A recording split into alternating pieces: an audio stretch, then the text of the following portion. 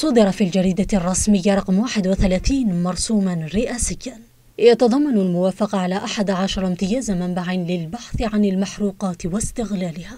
تم منحه من طرف الوكالة الوطنية لتثمين موارد المحروقات النفط للشركة الوطنية سوناتراك. ووفقا لهذا المرسوم رقم 24148 الذي وقع عليه رئيس الجمهورية عبد المجيد تبون في 28 أفريل المنصرم.